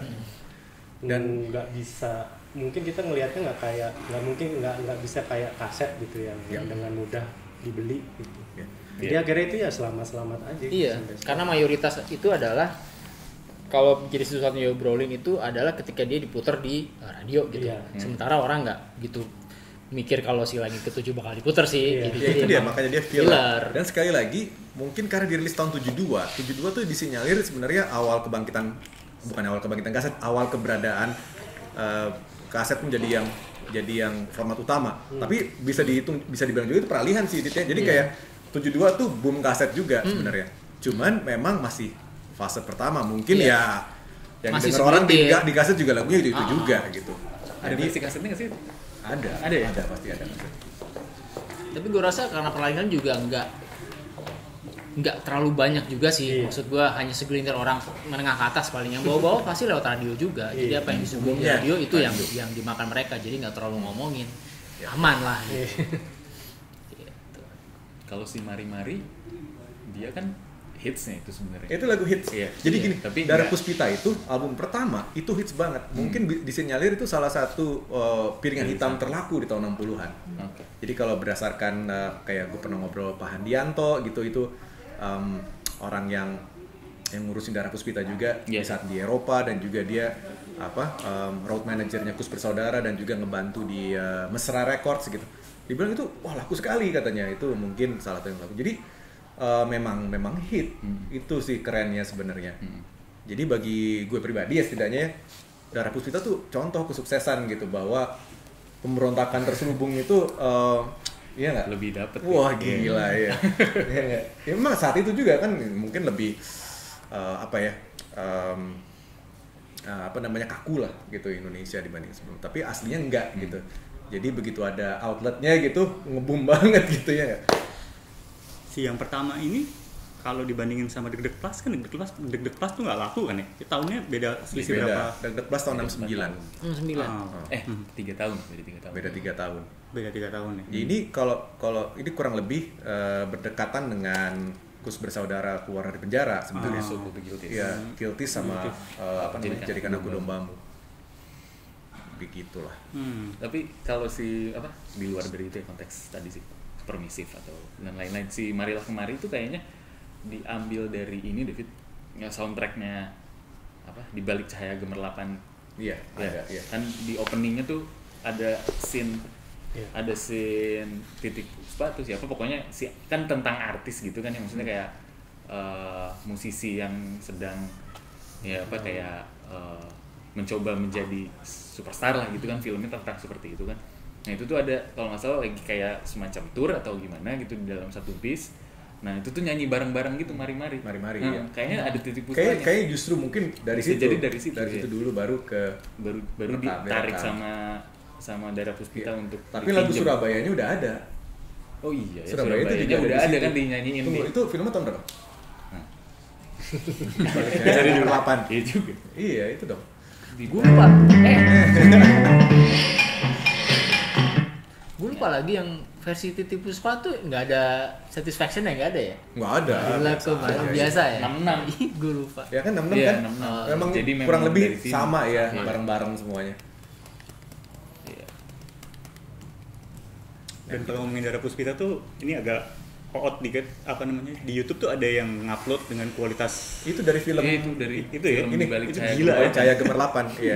gila banget Ada banyak artis sebenarnya Iya, yang iya. di- ditayangkan di dan, film itu. dan si akun itu tuh stop nggak naikin lagi kan ya karena kenapa gitu ya Oh iya, nggak tahu gue. Ah. Karena itu ada film film Aslinya kan nggak aslinya. boleh sebenarnya rights Mhm. mungkin. ah oke itu tajam banget gambarnya tuh HD kayaknya Kayaknya ada, ada yang restorasi sih itu Iya, kayaknya. ada Iya. restorasi. Nah, soalnya ada ada kus plus juga kan Iya ada yang eh, apa bukan bukan kalau Kus Plus Rahmat oh, dari Kartolo. dari ambisi. Iya. Ini ada Rahmat Kartolo terus ada Yanti Iya. Bersaudara, Yanti Bersaudara. Terus Titik Puspa, Lili Suryani, Hmm. gitu gitu. Tapi kalau secara background tuh mereka itu siapa sih? Sebenarnya apakah Darah Puspita. iya dari Puspita emang misalkan kalau Spurs kan emang ada kakak segala macam Oh. kalau dari Puspita sendiri terus ya background orang tua segala macam gitu. Ada ceritanya sih sebenarnya. Darah Puspita dari dari Surabaya memang. Jadi ada ceritanya mereka sebenarnya aslinya awalnya Irama Puspita. Iya kan ya? Iya. Irama, Irama Puspita. Um, jadi sebenarnya yang uh, uh, formasi yang di Jakarta itu yang terakhir itu uh, baru belakangan. Jadi memang uh, yang tiga ini uh, Air Bersaudari bersama Susi Nandar sudah ada. Lalu uh, Titi Hamzah nyusul. Dia yang paling kecil memang. Uh, dia nyusul dia minta ikutan lah katakan. Jadi akhirnya, akhirnya ikut- ikutan nyusul ke Jakarta. Dan dia selama di Jakarta dibawa uh, di bawah uh, apa namanya sayap Kus bersaudara. Jadi dia kayak adeknya lah, dia yang diasuh sama Kus bersaudara. Kalau nggak salah si Irama Puspita itu yang ngajarnya si Mus Mujiono. Oh enggak, ah. Kamu jadi kan lebih muda. Atau? Gue lupa. Eh bukan Mus Mus Mulyadi. mus mus mualim Eh bukan. Mus Mulyadi mungkin. Iya Mus Mulyadi. Tapi Mus Mulyadi ya, dia kan Arista Birawa tahun 60 Iya. Tapi nggak tahu deh, gua nggak tahu. Apa? Pokoknya ada, ada satu kaitannya lah. tongkrongan lah. seingat gue. Ya, ya, satu Iya. tongkrong. Surabaya, Surabaya di Jakarta lah. Iya. Kebayoran, Kebayoran. Iya. Baik. yang kebayoran Si skena? Kebayoran. Oke, mungkin Ada siapa next? An- Anto atau boleh Anto? dulu? Anto Boleh. udah. santai dulu santai dulu Anjir. Gue sambil Anto apa?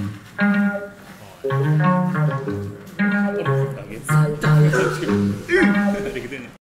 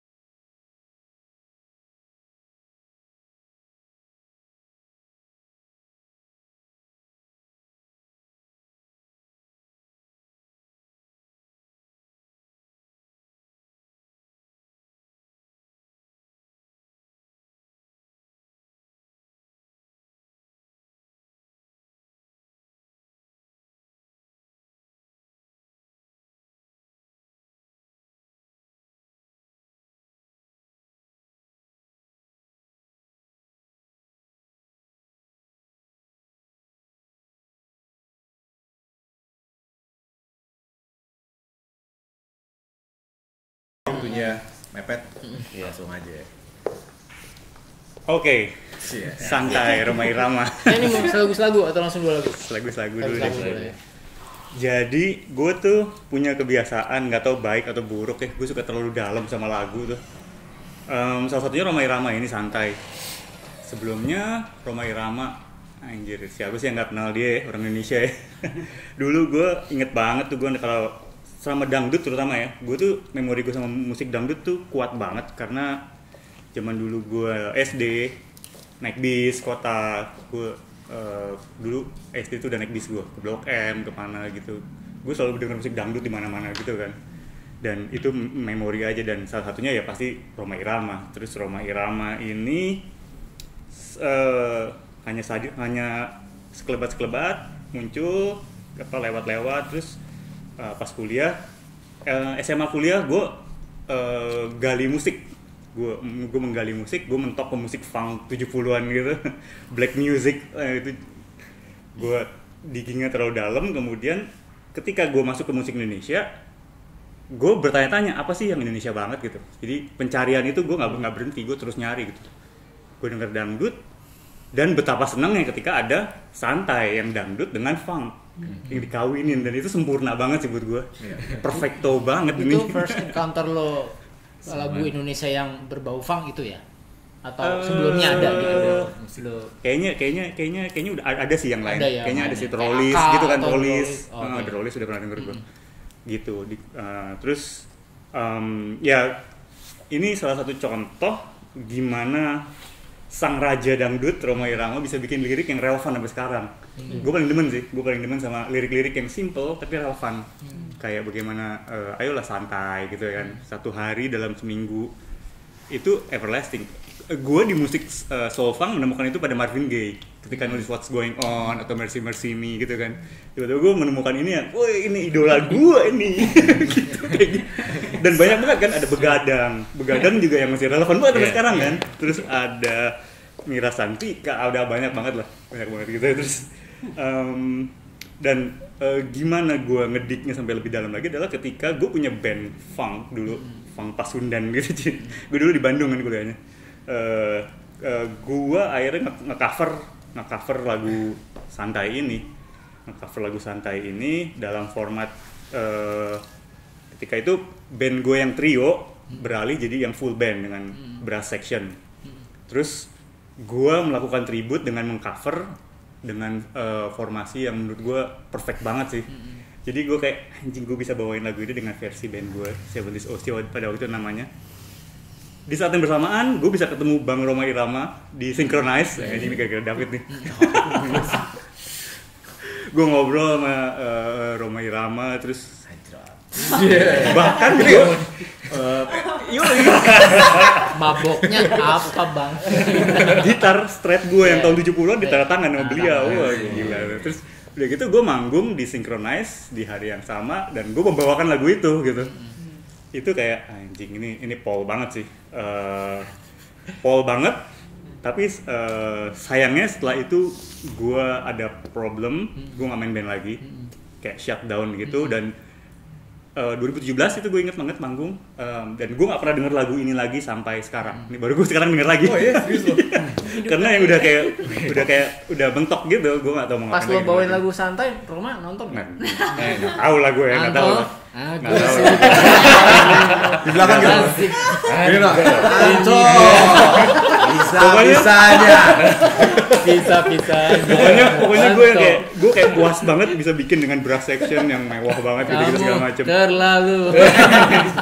Dan dan dan ya gitu sih pada saat itu. Terus ya ya gue baru denger lagi sekarang dan emang emang dahsyat sih.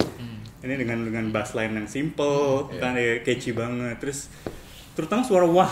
Jadi gue tuh dulu sebagai gitaris efek yang gue beli pertama tuh wah. Oh, wow. Sama kayak gue. Loh. sama kayak karena gue suka Cry banget kan?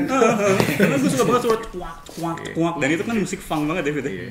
dan di musik di di sini gue yang wah anjing dangdut bisa cekuak cekuak kayak film black exploitation gitu. Atau Iya. film-film James Brown arah kulit hitam gitu. Cekuak cekuak wah jadi itu benar-benar total pengalaman yang udah beres sih kelar Iya, gitu dan apa ya gue gue juga inget yang menarik juga eh, apa Roma Irama juga nyebutnya funky dude ya kalau nggak salah dia ya. dan itu banyak ya tulisan-tulisan yang kayak gitu ya. eh, yang Yang apa menyebut Yu- Yukawa itu ya apa tulisan Yukawi. Yukawi Iya, Yukawi funky oke dude. sama terus juga katanya Indra Lesmana nyebut lagu ini dang dangdut fusion Ah, asik Sebenarnya karena dangdut itu kan balik lagi fleksibel sekali ya. Iya, iya, iya. Jadi apa yang sedang populer saat itu pasti ada eh, bisa masuk lah ke dangdut. Apalagi tahun 70-an udah pasti kayak funk soul tuh jadi ya sama tentunya um, rock 70-an gitu ya itu masuk banget dengan dangdut gitu. Ada lagu yang ya dangdut dengan funk soul gitu ya seperti tadi kan ada ada yang bilang funky dut lah apa segala macam. Ada soul dangdut ya kan dangdut soul. Iya ada ya? ada. Ada juga ya? Ada jadi bilangnya soul dangdut dan lagunya pun menceritakan tentang itu. Tentang iya, soul tentang musik dangdut. soul dan dangdut dan juga bagaimana dangdut itu tadi dibilang kampungan jadi enggak ya hal kayak gitu Iya, lah itu iya, dari tahun 70-an tuh kayak gitu-gitu. Karena emang udah ada polemiknya ya. Iya. Oh, Perlawanan antara musik orang elit sama Gedongan Iya, sama- gedongan sama apa, yang bawah. kampungan gitu kali. Iya. Dan men- benang merahnya antara si apa tadi bandnya dan Roma Irama, Blackmore di Purple. Richie Blackmore ya Sama. iya Richie Blackmore Richie Blackmore banget Tapi dia ngambil funknya dari mana sih sebenarnya? Eh, macam-macam Kalau katanya sih Waktu waktu, itu, itu. dia juga eh, dengerin James Gang. Oh. Oh, James Gang. Ya, James Gang kan ada unsur funk soulnya sebenarnya hard rock. Jadi dia ke situ James ya. ya intinya hal kayak gitu lah mesti dari dari dari era itu tapi memang ya orang Irama kan emang nyanyi lagu pop juga Iya, gitu iya, kan dia juga Iya, sebelumnya. dulunya juga kalau lagi pop Melayu gitu ya. udah di akhir 60-an Hah? udah udah di akhir lagu pop 60-an udah pun dia dia manggung-manggung jadi vokalis gitu ya Iya. diiringin band banyak lagu pop juga atau yang lagi uh, saat itu lagi populer dari mulai yang rada-rada crooner seperti Tom Jones Iya, gitu pernah. sampai yang lebih upbeat juga dia nyanyiin sebenarnya Tapi kalau dangdut emang pertama kali dia main. Yang Kan ini Gimana? bisa di Elia Adit. boneka India itu ya coba Elia Kadam. ya kalau menurut Wintrap gitu Ah, oke. Cuman kita kan mesti ngelihat saya sih lebih percaya kalau misalkan kita ngomongin genre musik itu dari dari penyajian ya Hmm. jadi nggak mentok di bentuk gitu Mhm. Ya. ya masalah penyajian itu kan yang akhirnya kita bisa luas lihat lebih luas gitu. Eh, bagaimana dangdut itu sendiri jadi sebuah ekspresi itu nggak nggak melulu dari bentuk gitu ya. Ada cikal bakal yang yang akhirnya Ya. dia ngebentuk eh, gaya musik tersendiri yang akhirnya dangdut kita pahami sebagai dangdut gitu. Cuman menurut saya sih ya ya mungkin yang ngebentuk dangdut bentuk penyajian dari segala fashion dan Mhm. segala macam halnya itu ya emang yang dimulai bisa dibilang dari Ramai. Romai Ramai. soneta, Soneta. Ya, iya. dengan satu paket ya satu paket dangdut jadi kalau dangdut yang pertama apa ya relatif gitu Ya, Oke. ya. tapi ya dangdut di saat dangdut oh, naik gitu yang menawarkan eh, paket lengkap yang dibutuhkan Iya. dangdut gitu ya nih budaya dangdut nih. Itu Roma Irama atau Soneta gitu. Dia superstar pertama ya sih to be fair. Iya. Kalau kata Romero, dulu nggak ada dangdut, adanya musik Melayu. Gitu. ya ada dangdut. Dulu dangdut ada musik Melayu. Gitu. Toh. Iya iya, gitu. Pas ngobrol gitu pas ngobrol. pasti. Pas ngobrol gitu. si Lagu kedua kali. Eh, apa Adit aja dulu nih udah Oh. udah ujung-ujung soalnya Oh gitu. Oke. Satu berarti. Adit. Tinggal satu-satu jatahnya. Oke. apa Milih lagu. lo gak lo ya udah Oke. Oh iya. ada cuma satu apa dua Satu. satu Jajai. apaan sih Eh, kok nggak ada suaranya? lo masih kecilin Oh, tadi iya. yang waktu Habis di Sunflower. ini dulu di dari awal dulu Iya. Asik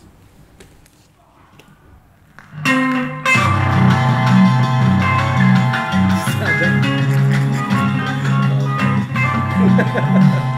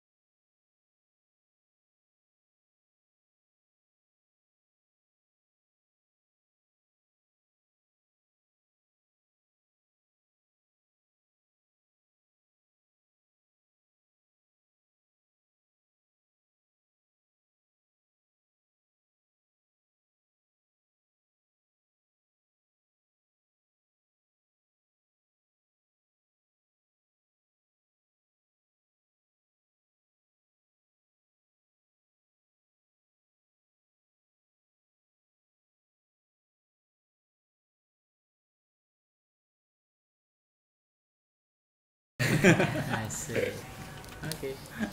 Nah. ya itu tadi saya tahu nggak yang nyanyi Susana Siapa? Susana. Susana. Oh, Oke. Susana. Sundel bolong Susana gila. bolong. iya Oh, iya. jadi mungkin ini yang Eh rekaman tahun berapa? kurang lebih 68 69 ya Gila. awal-awal ini ya. Jadi ini lagu ini yang saya pengen pakai buat ngerangkum obrolan ini Hmm. semua dari tadi. Hmm. Mulai dari filler, mulai dari ekspresi budaya yang gila-gilaan pada saat awal-awal Orde Baru, sampai kegiatan colong mencolong tadi. Sampai iya ini kontekstual ini sangat-sangat menurut saya ya karena ini lagu ini pertama kali saya dengar waktu saya mencoba untuk memahami posisinya Mesra, Mesra Records. Hmm. dan waktu saya dengar ini tuh saya wah ini nih yang mungkin yang bisa mewakili posisinya Mesra Record pada saat itu. Karena dari proses pembentukan ini tiba-tiba dia bisa satu album sama Dik Suprapto yang pada saat itu suaminya. Mungkin tadi kayak konteksnya kayak ya udah istri lo aja suruh nyanyi gitu. Terus permasalahan mengenai eh, apa namanya pengiringnya Brimo Resta yang dari band Brimob pada saat itu musik populer justru dijadiin alat eh, propaganda sama orde baru. Yang tadinya hanya buat wah ini harus diatur segala macam tapi akhirnya setelah ada kebebasan itu akhirnya justru elemen-elemen pemerintahan ini dipakai untuk ngasih tahu kalau kalian semua bebas dengar musik populer. Kalian bebas menjadi barat kalian bebas menjadi Brazil Iya. apa pun itu melalui elemen-elemennya itu sendiri pembentukan kayak bahkan sampai uh, perusahaan-perusahaan milik negara PLN aja punya band elektrika Iya. Cing elektrika. Iya. Keren asik Main PLN. dan itu bisa kita kita lacak itu strateginya itu luar biasa sedemikian rupa supaya bener-bener uh, orde lama tuh udah selesai dan yang menariknya lagi sebenarnya kita ngelihat mesra itu posisinya itu semacam menyelamatkan di situ. Dan dia menyelamatkan Kus Plus dia menyelamatkan Piala Puspita sebelum akhirnya menjadi besar ya. Iya. dan kita bisa lihat nggak lama setelah orde lama bubar Irama Records bubar Mhm. dan dia harus ngebentuk oke. yang lain Mhm. Iya. nah permasalahan yang tadi filler segala macam itu udah saya ceritakan dan yang paling terakhir sebenarnya yang menarik adalah masalah colong lagu Mhm. di sini dia nggak dikasih tahu dan beneran kalau misalkan orang dengar langsung dan nggak tahu Astrud Gil- Gilberto mungkin nggak Nggak wah tahu. ini Susana jago banget ya nyanyinya ya Apa? pengarangnya NN NN. tulis NN Iya. dan sama sekali kalau misalnya kita lihat albumnya nggak dikasih tahu gitu. Nggak Ini dikasih tahu apa? lagunya siapa? Ah. Iya, NN kalau nggak aneh kata. Gue jadi ingat kalau nyambung soal ini ngomongin Astur Gilberto sebenarnya ada hubungannya juga Rico Smirane di album itu kan dia uh, ada masa-masa muda ya kalau nggak iya salah. tapi itu udah tahun Ast- 70-an awal. Iya dan ya sama kayak lagunya Astur Gilberto di bahasa Indonesia ini gitu Iya, iya, iya, seperti seperti itu. Dan dan ya ini mewakili sih menurut saya apa namanya euforia pada saat orang era orde baru. Dan yang paling penting sebenarnya proses pembentukan eh, ya ya mungkin nggak kalah pentingnya kita bisa lihat bagaimana selebritas dibentuk pada saat itu gitu. Kayak Susana harus dipaksa. Di sini tuh fillernya tuh ngomong eh eh eh, tulisannya tuh liner notes Liner notes. liner notes-nya tuh dia ngomong kalau seperti juga suaminya Susana lebih dikenal di, la- di layar putih sebagai bintang film Layar tetapi putih. sebagai vokalis dalam lagu ini telepon song dinyanyikan baik dan menarik juga berkat hiasan permainan dari Brimo Resta. Iya, pem- proses pembentukan selebritas itu mengarah banget ke Hollywood gitu. Hmm. Orang yang bisa uh, punya punya keahlian acting juga diharapkan bisa bernyanyi. pada saat itu dan ya kita bisa bisa belajar banyak sih tentang kontekstual Hmm. musik populer pada saat itu terutama melalui kompilasi ini. Dia bisa nyanyi tapi ya? Bisa. Apa efek makan melati? melati itu. belum belum itu sebelum belum ya Dan lagunya bukan lagu gampang gitu. Iya. tapi tapi bisa dibilang juga ini kan memang debutnya dia kalau nggak salah Ah. nanti ada album ya sama yang Dik juga ada Iya. ini debutnya dan memang em, bossa nova dia kayak Astrud gitu. Jadi kan nggak bisa nyanyi sebenarnya. Ketika tidak bisa nyanyi tanda kutip ya. Iya. jadi memang cocok juga buat Susana sebenarnya. Iya. memang dia memang ya ada fals-falsnya tapi tapi memang ekspresinya jadi enak gitu jadi pas gitu. Jadi uh, satu sekali lagi ini juga dirilis di rekaman kompilasi. Jadi kayak kayak apa ya? Em, eh, Remako Iya. Mesra Ah. Di awal keberadaannya mereka itu kerap kali merilis eh, kompilasi kalau di Remako tuh em, yang paling terkenal adalah eh, kompilasi Aneka 12 Iya. Jadi 12 lagu eh, biasanya itu perkenalan buat eh, aksi-aksi baru dan itu juga jadi materi yang akhirnya dikirim ke TVRI gitu untuk aksi-aksi tersebut dan bahkan ada beberapa yang atau sebaliknya Iya, atau sebaliknya. Jadi gini, jadi ada satu kasus yang akhirnya membuktikan uh, hubungan itu gitu. Jadi contohnya saat gue pernah uh, mewawancara Nur Bersaudara mereka bilang iya dulu kita ada juga band tuh one off lah sama teman-teman kita SMA 3 namanya The Tops. Kita Oh. sempat main tuh di TVRI terus gue mikir gini wah ini ada nih di kompilasinya mesra. Lagunya Don't Let Me Down bukan lagu Beatles. Iya kok kamu tahu? Itu ada di rilis hah? Ada di rilis kata dia. Dia nggak tahu. Karena dia setahu setahu dia itu buat TVRI jadi kan playback kan jadi mereka ngerekaman dulu pas TVRI di playback gitu. Dan ternyata si rekaman itu dimasukin ke kompilasi salah satu yang eh, kompilasi label. Jadi Iya. kalau di Remako itu namanya Aneka 12 kalau di Mesra itu ini dan itu, kalau nggak salah. Nah, ada berapa kalau ini ini dan itu ya? Iya, Iya ini dari itu nih. volume 2. Volume. volume 2 ya? Iya. ini yang warna hijau bukan sih? Oh, yang Biru. yang biru, ya. Oh ini bagus. Love is blue.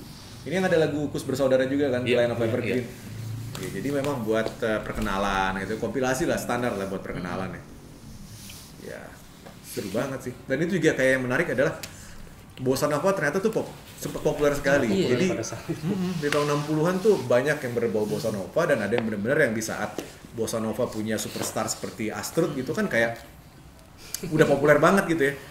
Eh, banyak banget yang yang yang apa ya ya yang, mem- yang berusaha memainkan gaya seperti itu di Indonesia. Ada si Tompul Sister, Sis, Sis Bossa Nova, kayak gitu-gitulah. Jadi ada macam-macam lah di era itu. Sampai ke belakang.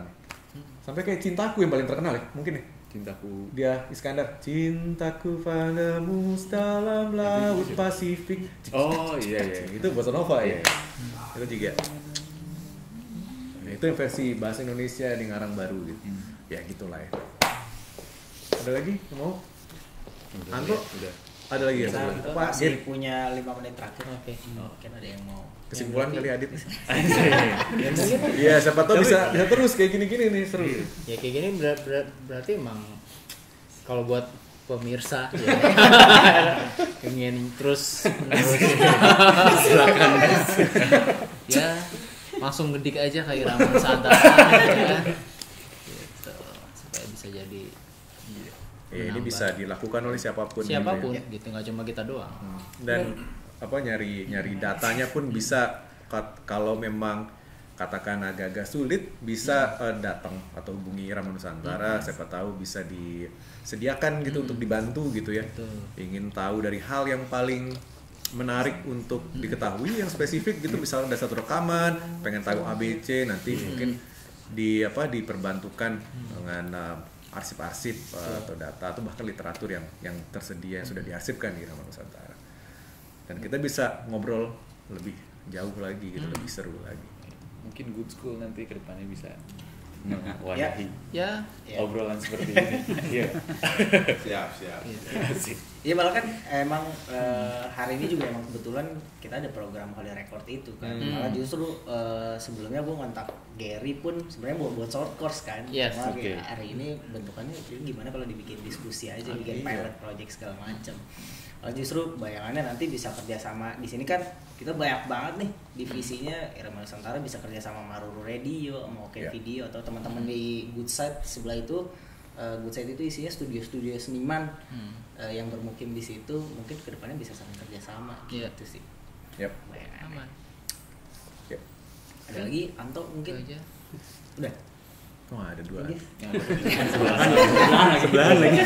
Anto dua biasa ini eh, nulis sama bikin buku ya pokoknya keluaran-keluaran good school Anto Gambar. yang ngurusin. Ya kalau mau dirangkum silakan. Jadi disalin emang itu nyari Kazana. iya sama dirangkum. nanti ya. bisa di iya dirangkum nanti di share lagi biar kita benar-benarin dikit gitu jadi enak. Bisa di share ke bisa jadi newsletter atau apa gitu. Nah, dan itu kan bisa terus ada ya hal kayak gini. ini seru soalnya. Alih fungsikan ya. Alih format. Nanti ya mudah-mudahan lebih lulus lagi dan bisa dipersiapkan uh, lebih baik lagi sebelum jadi kita bisa ngundang teman-teman yang di Bandung gitu. Yang seru yang bisa yang yang kita tahu punya kapasitas buat berbagi juga gitu. Soalnya di sebelum ini juga kan ada beberapa uh, pertemuan seperti ini yang emang dulu bergairah sekali gitu. Uh, sekarang ya kemarin-kemarin sempat terhenti dan ya mudah-mudahan dengan ini bisa men-trigger Ya. buat yang dan Antol juga dulu pernah buat namanya Iya, dek plat ya. Jadi kan. kurang lebih seperti ini gitu walaupun memang ada unsur-unsur kasihkan eh, kolektor-kolektor gitu yang kayak nih nanti gue punya rare nih pasang nih gitu. Dia cerita. Pengen Ceritanya bisa rasanya Iya, ini gue dapetinnya bla bla bla. Iya. tapi ini kan lebih ke karyanya gitu Pak. tapi ya mirip lah. Dengan semangat yang sama sebenarnya. Tapi nggak harus punya gitu ya. ya. pengetahuannya bisa dimiliki oleh semua orang. Semuanya hampir semuanya oke Oke. Eh, Oke sekali lagi terima kasih banyak buat teman-teman Irma Nusantara yang ada dari sini eh, dalam program Holy Record ini yang akan nantinya kan juga ditayangkan di YouTube channelnya Good School. yes Sampai jumpa dan menikmati pembicaraan di tanggal 1 dan 2 Mei nanti. Oke terima kasih sampai Terima ketemu kasih. lagi. Kira-kira. ada lagu penutup